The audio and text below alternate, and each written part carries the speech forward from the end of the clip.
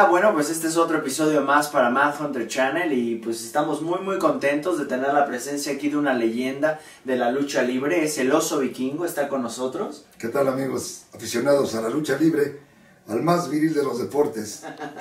Bueno, pues estamos aquí con él y le queremos hacer una entrevista, algunas preguntas. Oh, muchas gracias. Yo sé que usted empezó, ¿no? Desde hace ya muchos años. Sí. Y pues la verdad que me ha costado trabajo ahora sí que investigar acerca de su carrera. Así que para mí es un honor tenerlo aquí y que de, su honor. propia voz nos pueda contar más de su historia de ¿Cómo la no? lucha libre. Con mucho gusto. Lo que ustedes pregunten, yo contesto. Excelente. Bueno, mire, yo quería saber cómo empezó, cómo llegó usted a la lucha libre. Pues eh, te voy a decir, Rodrigo, eh, yo era gordito, entonces la idea era bajar de peso. Entonces, este, yo tuve un cuñado, porque ya falleció, ya se adelantó el viaje, el señor Jesús Olmos, guerrero, el luchador profesional, también era el halcón dorado segundo. Ah, el halcón dorado. Entonces, segundo, sí, entonces él me, me invitó una vez al gimnasio Gloria, Claro. yo muy pequeño, entonces fui y yo quería sudar, entonces ahí él me dijo, ¿quieres sudar? Pero pues él sabía y yo no sabía nada. Entonces le dije, sí, ¿cómo no? Y me puso a un chaparrito pequeño que se llamaba Pepe Villa. Pequeño. Yo dije, no, pues este lo desarmo ahorita. No, no, no, no. Fue un error muy grande porque casi, casi me hizo llorar En serio. en Olímpica. Yo no sabía nada de eso, pero entendí que eso no era un juego. Claro. Entonces, por eso. Pero se enamoró, lo empezó a Ah, ver claro, como sudé, sudé como loco, dije, de aquí soy. De aquí De soy. aquí soy. Y él fue el que me inició en, en este deporte, mi cuñado, el halcón dorado segundo. Bueno, yo le quería preguntar, supe que luchó con personalidades de la talla del cavernario Galindo. ¿Cómo no? El señor Galindo, don Rodolfo Galindo, Wow. el único rudo. Ese sí era rudo. Son pocos los que pueden decir que lucharon contra un... Pues yo tuve el honor, para mí fue un honor luchar con esa clase de gente, de la gente de ras de lona. Y Claro. así era el señor Galindo. Oiga, ¿y alguna anécdota así de cuando usted luchó contra él que, pues que nos pueda decir a- desde adentro del ring, ¿no? Sí, le voy a, ahorita, estoy recordando un- una anécdota que me sucedió con el señor Galindo. Pues yo confiado en mi hacha, en mi poderío, en mi juventud, yo dije, no, pues ¿qué me puede hacer a mí, cavernario? Yo subí, la gente me recibió como reciben a los rudos, con tanta grosería que le dicen a uno, pero para uno es un orgullo que, que la gente lo, lo insulte a uno, porque quiere decir que uno es rudo también. Claro, que interactúe, ¿no? Porque Sí, es parte de... es parte de. Entonces, pues se me olvidó el cavernario y yo muy confiado, pues, con mi hacha, mi escudo, pues, a mí na- nadie me hace nada. Le perdí la cara al toro y yo con la gente y llegó con su cachiporra y me ha dado un santo golpe que creo todavía tengo el chipote de tantos años que me dejó casi seminoqueado del, de la cachiporra que traía. Era creo de cemento, de acero, no sé de qué era. O sea, rígida la No, no, no, yo pensaba que estaba hueca, no. No, no, no, el, el señor Galindo, todo su personaje era efectivo, nada de juegos. Qué, qué leyenda, la verdad, qué Galindo. emocionante. ¿Y con qué otra personalidad así llegó a luchar usted? Con el señor Alejandro Cruz, Black Shadow. don Black Shadow, donde quiera que esté. un- eh, para mí, el- el- el- los mejores topes que se han, han ex- existido pues son los de don Alejandro Cruz. ¿Y por qué le decían el hombre de goma? Se doblaba para todos lados el Así señor. se- que se levantaba. Le pegaba usted y se doblaba hasta atrás y de repente salía volando y le daba un tope en la quijada. ¿no? Entonces, era increíble, era ágil, eh, luchaba. eh, no, no, no.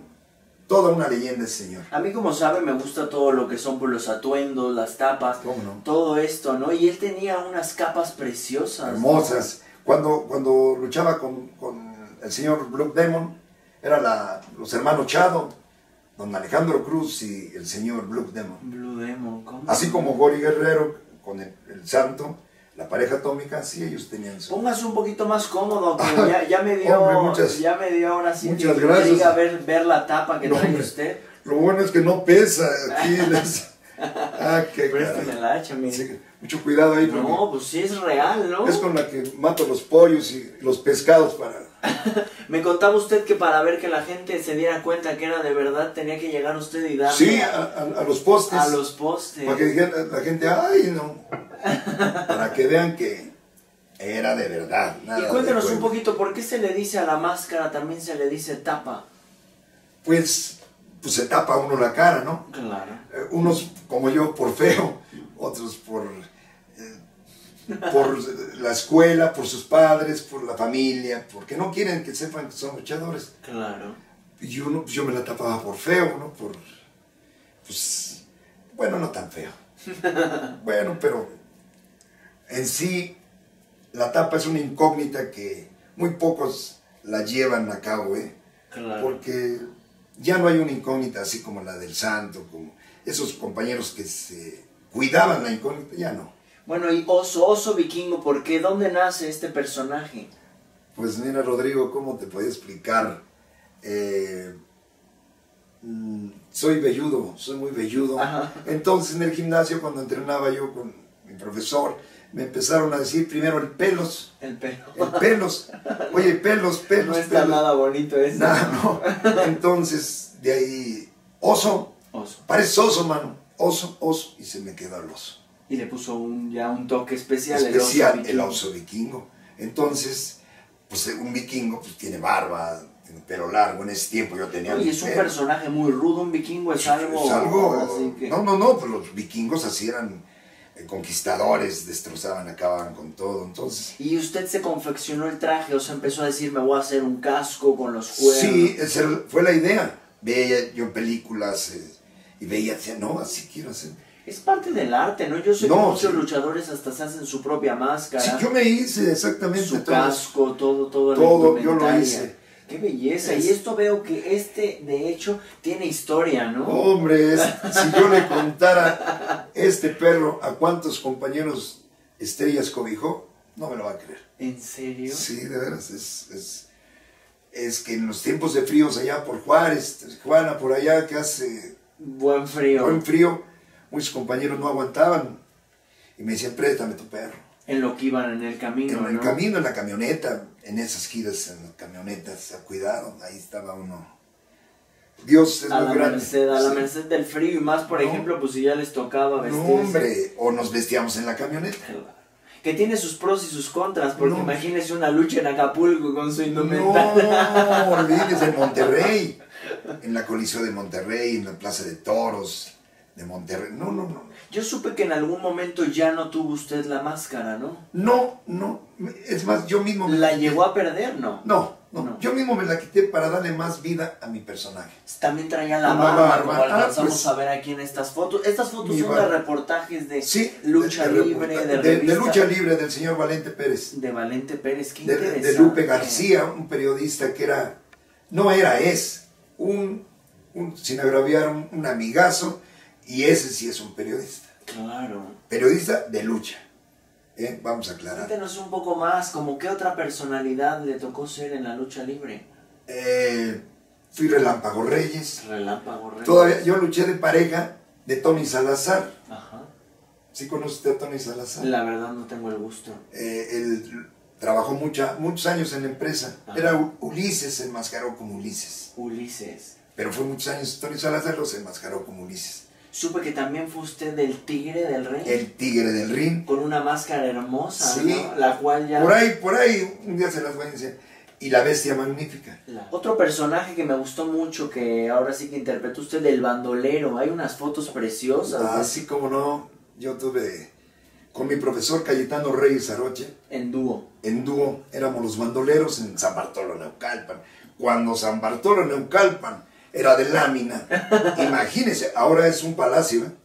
Oiga, y otra más que recuerdo por ahí, el caballo loco, ¿era? También luché como caballo loco. ¿Esa traía usted alguna tapa o era así como... No, este, yo la usé así luego, eh, eh, cuchillo. Cuchillo. El señor Jaime Carrillo Ajá. misteriosamente sacó uno igual que la mía. Como caballo loco. Como, no, él como cuchillo y yo era caballo loco. Pero era similar la Pero tapa, digamos. igual, igual. Él me la, un refrito. Qué Pero pues, Yo siento que el personaje compañeros. que a usted más le acomodó y con el que se sintió más cómodo fue el oso vikingo. Claro, ese fue el que me, eh, en- gracias a Dios, en toda la República Mexicana y parte del extranjero, ese nombre Oiga, quiero que, quiero que echen un vistazo ustedes a esta fotografía. Es una fotografía real que él de hecho arrancó de uno de sus álbumes, me imagino. Sí, cómo Y no. véanlo, no trae usted aquí lo que es la tapa negra, su casco y también trae lo que eh, creo que este es su fiel acompañante, Sí, ¿no? claro, el escudo. Este escudo es una chulada, lo hemos podido ver desde creo que los inicios de su carrera Sí, como el cómo oso no. vikingo. Desde el principio, siempre me acompañó. Todo, si pudiera hablar todo lo que nos Uh, contaría. ¡Qué de anécdotas! ¿Y usted mismo lo hizo? Sí, señor. Sí. Wow. Y me, me contaba un poco que ha tenido algunas modificaciones con el Sí. tiempo, ¿no? Claro, era un poquito más grande, pero imagínense andar viajando. No, si de por sí pesa bastante, Y- ¿no? y- Es ahora sí que macizo, es Sí, puro. en los aeropuertos llegan y los avientan, ya sea. Claro. Entonces, lo tuve que hacer más, más Quiero corto. voltearlo aquí para que vean todavía. Miren, ya esta pátina de los años Sí, sí. tiene. Y también tenía su agarradera de Sí, sí, aquí, pues ¿no? para qué. ¿eh? Ya con este ya ahora se aguantaba una- unos cachiporrazos Ah, sí, del claro. ¿no? ¿Dónde está el cavernas? Aquí, nada más que le perdí la cara y fue el golpazo. ¿Y usted nos honraría con poder ver su rostro? Yo sé ¿Cómo que, no? bueno, lo podemos apreciar aquí en algunas fotografías. Sí, ¿cómo pero, no? ¿Sí? ¿En serio? Sí, Rodrigo, tú nada más dime en qué momento, pero se van a espantar, ¿eh? Porque se me van a salir los chinos y, y como ya estoy medio calvario, no hay problema. Pues el calvario ahora sí que viene de- del mal de la máscara, ¿no? No, claro, todo el que usa máscara Es parte de... es parte de... Es el, el sacrificio que tiene que hacer, Claro. usar máscara, usar la incógnita. Pues si gusta le agarra un poquito el casco A y ver, si nos, ahora sí que nos hace Sí, honor a poder conocer su rostro aquí. Eso es todo. Déjame acomodar los chinos porque... Aquí está. Ahora ya no trae aquella magnífica barba, ¿no? Ya No, mi barba, mi pelo, no, sombras nada más. Claro. Se quedó todo. Pero bueno, de eso, de lo que es su, su carrera y Pero todo, aún así- digo que es, es parte de lo que yo quiero hacer, ¿no? Que la gente lo conozca. Yo traté de investigar bastante de usted y pues no hay mucho en la red, hay bastante en las revistas, como podemos ver aquí, pero la verdad le agradezco. Nos trajo hasta un, ahora sí que es un reconocimiento de un encuentro Ah, que sí. hubo en la, ahora sí que en el reclusorio Antes, antes, Oriente, ¿no? antes, este, Ahí ya le moví por aquí. el, el- Ahí está. el Departamento del Distrito Federal nos invitaba a los reclusorios a dar exhibiciones para, para la gente que estaba pues, recluida ahí. Claro. Íbamos con mucho gusto, nos daban nuestro reconocimiento, convivíamos con toda la raza que estaba ahí, comíamos y en la tarde... Y los vámonos. gritos, las Sí, peladeras claro, no, imagínese. mayor, ¿no? La- ima- nada más imagina. Y ahí en la cárcel le iban más a los rudos o a los técnicos. A los rudos. Sí, porque ahí todos son rudos. todos son rudos. Eh, Entonces íbamos con mucho gusto, siempre pues tratando de, de estar con, con- con- con nosotros, con, nuestro, con nuestra gente. Claro. El pueblo es el que nos hace y es el que nos dice te acabaste. Se acabó. Entonces íbamos con mucho gusto a los reclusorios, al oriente, al norte, al poniente, varios. Oiga, y esta máscara ahora sí que creo que es de las últimas que de las últimas usted, ¿no? que, que- yo usé. Es de las viejitas porque ya tiene también su... Yo veía aquí su credencial. Esto la verdad es la primera vez que yo tengo el honor de ver una credencial Sí, de no. luchador profesional. Véanla, nos las trajo aquí. Yo quería ahora sí que no mostrarla desde el inicio porque sale ahí su rostro. Sí, no, y no, yo no. siento que todos personalidades, igual como el Santo Blue Demon, tendrían las suyas. Ah, claro, sin no, máscara, eso, ¿no? su licencia, su credencial, porque si no, no lo dejaban luchar, ¿eh? Y en la parte de aquí atrás logramos ver igual aquí el año, El año. 1975, me parece sí. Sí, Y el nombre, el oso vikingo. oso ¿no? vikingo. Qué interesante, esas son joyas, ¿no? No, pues para mí son, son diamantes, ¿no? Claro. Es un recuerdo que ahí, ahí se va a quedar. Ajá. Uno se va, pero los recuerdos ahí se quedan. Claro. Para bien o para mal. Yo ¿no? le digo, mínimo esta entrevista va a durar para el Real y es, es, un, es un honor que usted esté aquí, ¿no? No, hombre, qué, qué bueno que, que esto dure, porque la lucha libre es tan hermosa que... Y no nada más yo, es de tantos buenos luchadores, porque ha habido buenos, malos, y yo. Lo último soy yo, porque esos eran luchadores, ¿eh? De esa época de oro de la lucha libre. Sí. No, y no, por no. ejemplo, ¿usted hacía sus propias máscaras o había... o- No, había, había vari- varios... O este, sea, personalidades como. Ranulfo, como el, Martínez. El señor Rodo- Ranulfo López. Ajá. en San Antonio de Tomatlán, ahí todos sabían. Sí, este, el señor Martínez, el señor don Alfredo Hernández, La Furia, La Furia, que para mí el mejor mascarero que hay. De Y hecho, que me sigue, sigue aún Sigue, ¿no? Las mejores máscaras no es por darle coba al señor, este, es más, ya nos hablamos, pero el mejor mascarero ¿En es el señor Alfredo Hernández. Sí, pues las máscaras son como, yo siento que como la ropa de marca, ¿no? Por algo tienen, o sea, El los sello característico del- Eso cómo se amolda al rostro, ¿no? Y por ejemplo, gente que inició como el santo a luchar con máscaras de, De cuero. piel, ¿no? Madre mía, me imagino las raspadas que traían en la cara, ¿no? Eso es entregarse, ¿no? Sí, de cuerpo y alma. Y bueno, yo he escuchado ahí de entre, ahora sí que cuento y cuento, o leyenda. ¿no? Anécdotas, Anécdotas. que nos suceden a Para todos. ustedes son anécdotas, yo siento que para nosotros como que los aficionados pues son leyendas, son cuentos, No, ¿no? son vivencias, ¿no? Son- pues uno lo vivió. son- Por ejemplo, dicen que, que un día hubo ahí un altercado contra el público y los luchadores. Ah, con, usted dice con la de Canet. Exactamente. No, eso en, en, en el, en Tlaxcala. En Tlaxcala. El, promotor era un, un compañero que se llamaba Pepe el Toro.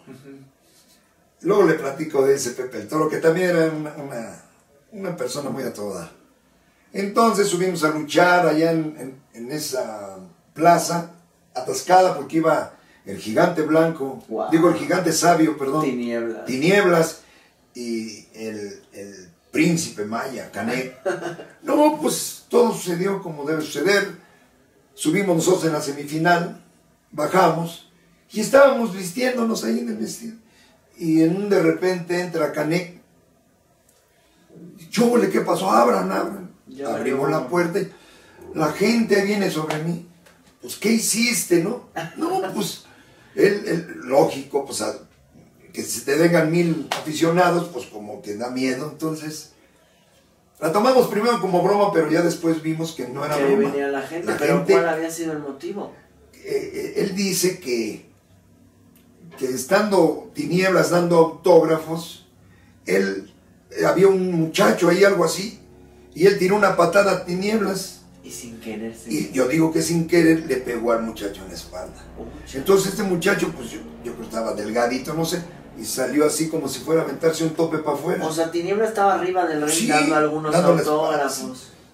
Sale Caneque acá, Sale se Caneque. quiere aventar. Le da la patada y le pega muchacho. Bueno, cualquiera puede tener un error, ¿no? Sí, pero dígaselo a la gente. No, sale y la gente se para como... Y sobre Cané. En serio. Entonces, el vestidor era muy pequeño, nada más una puertita que daba para la calle, Ajá. sillitas, una mesita y ese era el vestidor. No, pues la gente queriendo tumbar la puerta. O sea, querían agarrar a Querían, Canek. querían matar a Canek. Yo dije, no te preocupes, aquí ahorita nos defendemos. Entonces era de albesto las láminas y con palos y pistolas rompieron el albesto.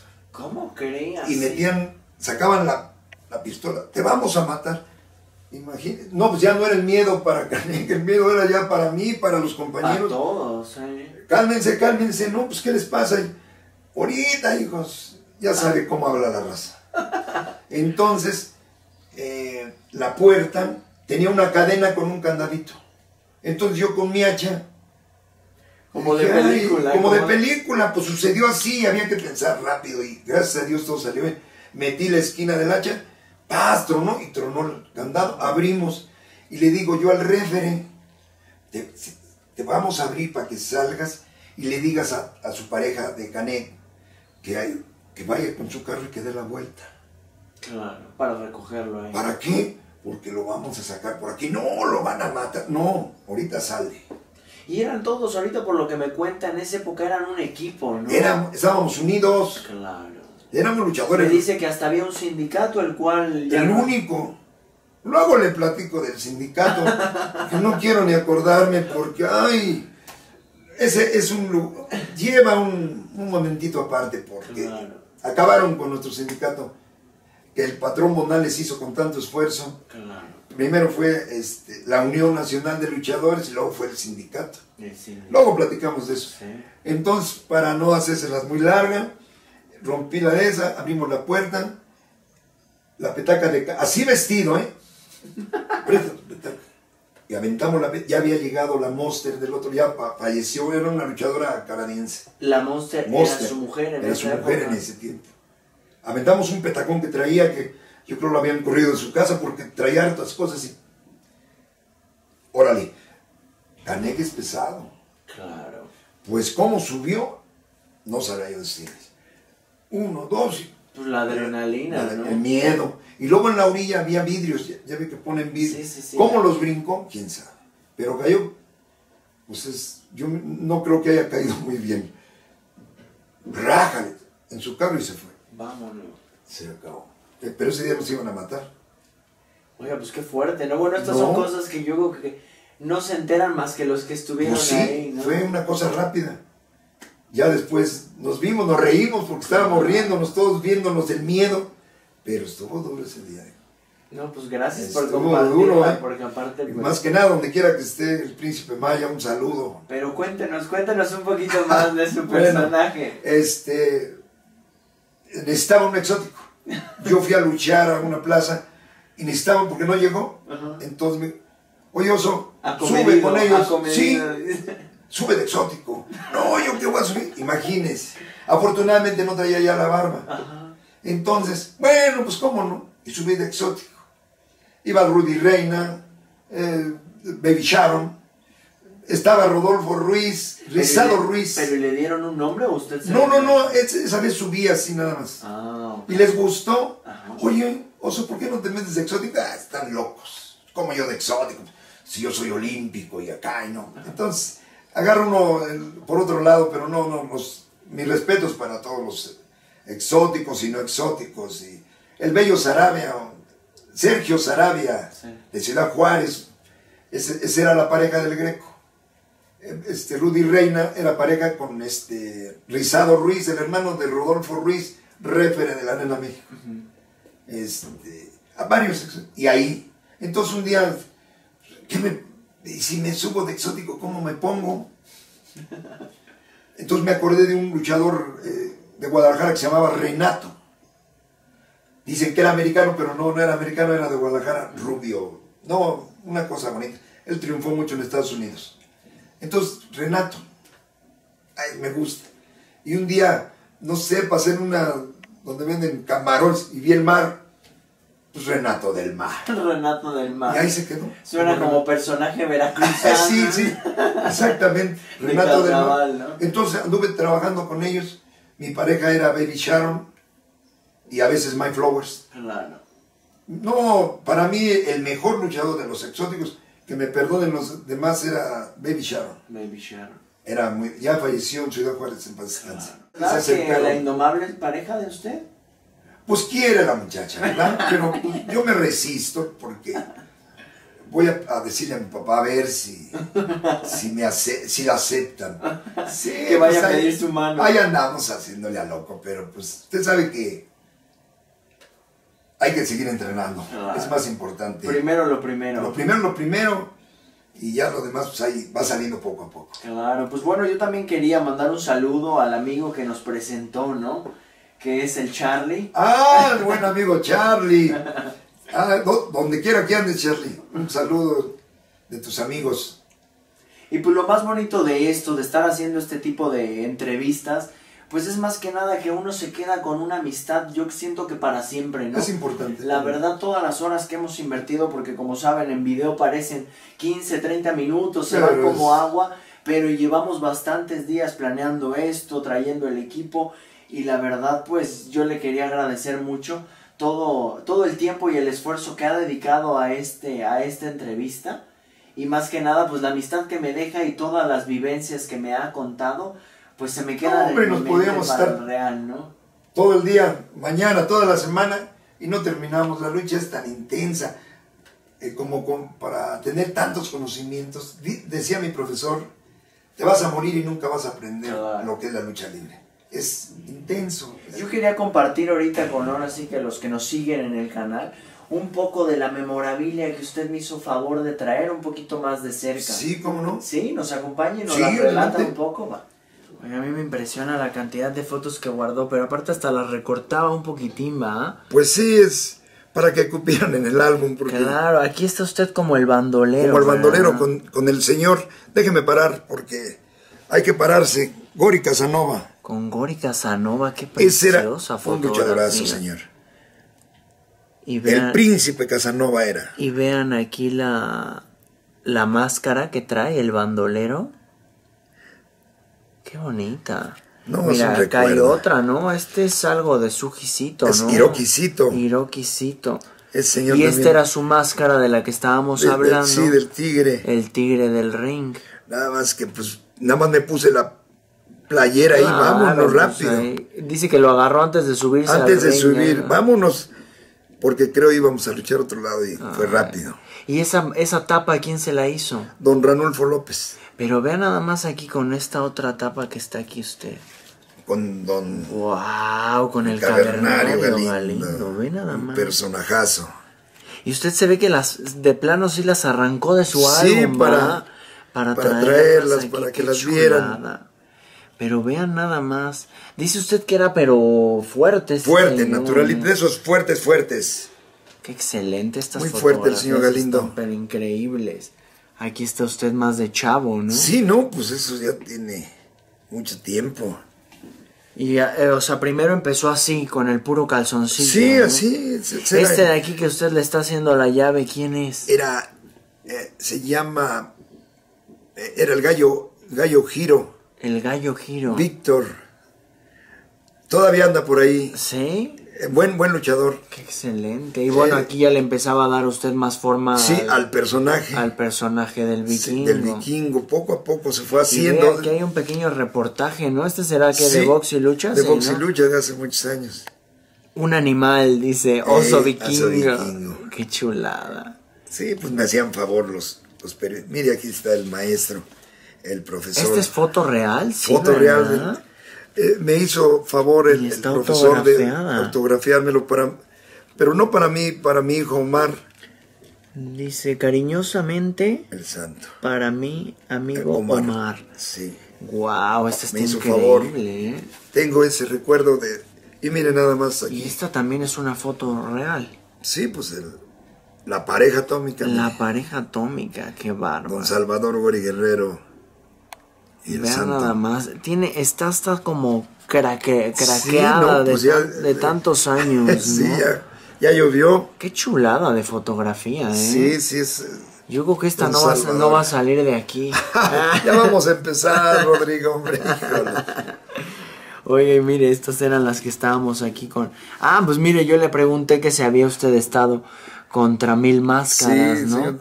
Usted Tuve el honor de luchar con, con el polifacético Mil Máscaras. Usted es el, El de la derecha, ¿no? El- Sí, ¿Y así está. se le dice calzón?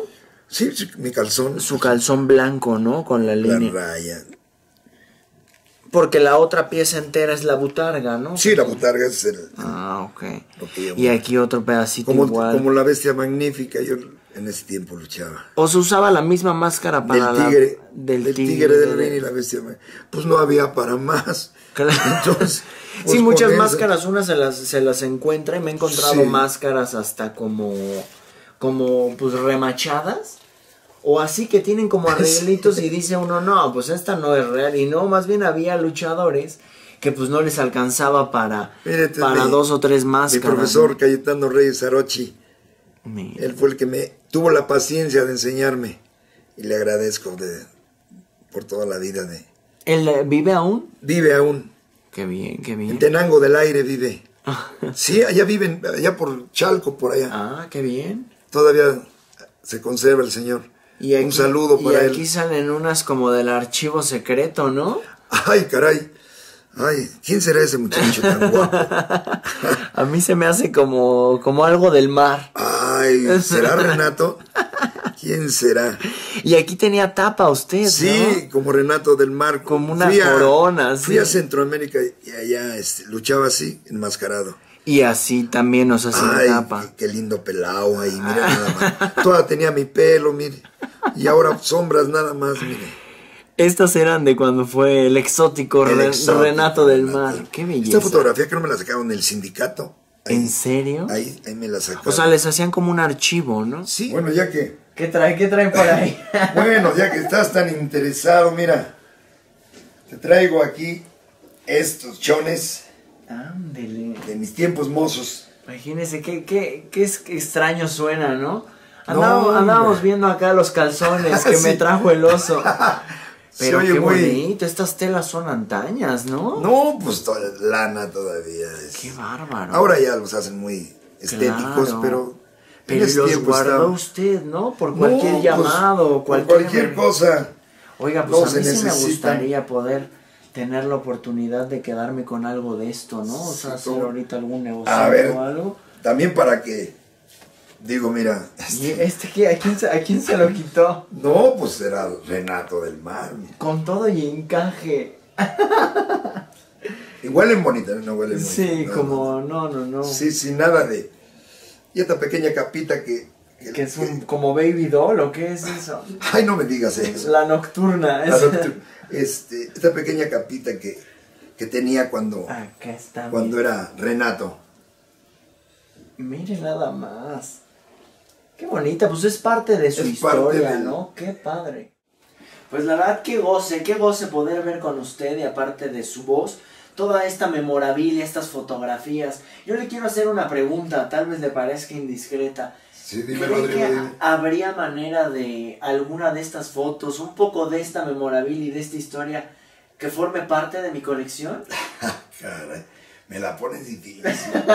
Caray, hombre. Para mí es un tesoro, tanto como para usted yo lo sé, pero aunque sea un poquito, ¿no? Bueno, ya que estamos en esas. A ver, permíteme. Mira, eh, esta máscara la quiero mucho porque. Ah, como una mujer que anda con uno siempre. Claro. Y ahora, aunque me dé un poco de tristeza, es para ti. ¿Cómo cree, no? No, no, ¿De verdad? Es- de verdad, de verdad es. La verdad me halaga De muchísimo, amistad. siento así como hasta se me enchina el cuerpo. No, no, ¿Por no, qué? no Porque yo sé es- lo que significa y más que pues ya no, digamos que ya no lo está mandando a hacer usted máscaras o No, eso. pues ya. Eso. No se acabó, pero esto sí. para mí en serio es un elogio y créame que la voy a guardar como la joya Espero, que es. espero ¿no? que, que la cuides como yo la cuidé siempre. Oiga, y bueno, aprovechando este regalo, va, a decir, va a decir, bueno, uno le da la mano y se agarra el pie. No, no, no. Pero yo sé que muchas veces, por ejemplo, el equipo, pues lo tienen ahí guardado en alguna bolsa o algo. A mí me gustaría preguntarle, ¿habría forma de obtener su equipo legendario, este que aparece? Ahora sí que viene el casco, el hacha, el escudo. Luego vamos a hablar de eso, ¿eh? Por favor. Sí. Ya un poquito para despedirnos, por ejemplo, de sus llaves o alguna técnica que usted, o sea, se inclinara más hacia ella. Ah, es- me Porque uno pues los ve, ¿no? Y ahora sabe que los racarrana, la tijera, esto, el Este, martinete, todo eso. No, había, a mí me gustaba mucho la Gori Special, La Gori la que hacía Gori Guerrero, sus este, castigos eh, mortales encima del enemigo, pero rápido, nada ¿Cómo de se que- llamaba esta muy famosa que agarraba La de a caballo. sa- La de a caballo. Esa era de don Salvador Gori Guerrero, Era de Gori nada más que Guerrero, la adaptó el mucho el santo. el ¿no? profesor se hizo de ella. Pero el que la sacó fue Gori. El, el señor Max Linares, o sea, el rayo de Jalisco, quién sabe dónde anda, por allá, por Iztapalapa, por allá viene, este, sacó una llave parecida a la de caballo, y se llamaba el potro. Esa es la que te jalan de la cabeza, E- Esa es la de caballo. sentados en tu Sí, espalda, ¿no? Es la de caballo. Hay otra más dura. Y me contó que el Que el santo se la llegó a hacer en alguna ocasión. A mí sí, no, le tronaba uno todo el esqueleto. Sí, de veras, ¿eh? Sí. Pero duro, el, el- el profesor, que así le decíamos de Claro, cariño, sí le dice mucha gente. donde quiera que estés. Oiga, y, gusto, apreciando este obsequio que me dio usted, también la máscara es como una pregunta que yo tengo. ¿Sí ayuda con las chicas o no? Ay, Rodrigo, qué pregunta. Pues claro que ayuda. Las mujeres no saben que cuando se quita uno la máscara, ay, nanita. Póntela, No, póntela. no, no, vez. que se la pongan. que se- Sí, no. Sí, claro. Hay muchos, hay muchos compañeros, pues que son tipos, pero ha- habemos compañeros que no, no. Hay que ponerse Pero aparte el mito me refiero, ¿no? O sea, las mujeres han de tener esa Incógnita. ¿Quién será? Y con tal de quitársela, pues han de quitar los chones. sí, es, un artista de cine. No, Claro. no, ya lo ven, no, pues es cargador de la Merced, este hombre. Usted me dijo unas palabras muy bonitas, un poema. Ah, Quisiera, sí. Quisiera que me lo, pues que nos lo repita aquí en Sí, cómo no, de, del maestro, para mí el maestro, don Luis Ramírez el gladiador. Donde quiera que esté, para mí luchadorazo. Lucha es nombre de mujer y hay que amarla hasta la muerte. Estoy casado contigo, no dejaré de quererte. Tú me has dado lo anhelado en noches de paz y guerra y solo te olvidaré hasta que mi vida muera. Bueno, pues mi oso vikingo, yo quería la verdad agradecerle No, este hombre. momento.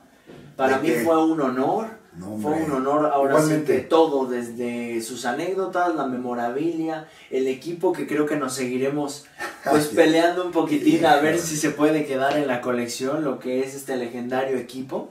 Y bueno, pues espero les haya gustado este capítulo. Fue otro episodio más para Mad Hunter Channel. No olviden seguirnos y darle like a la página.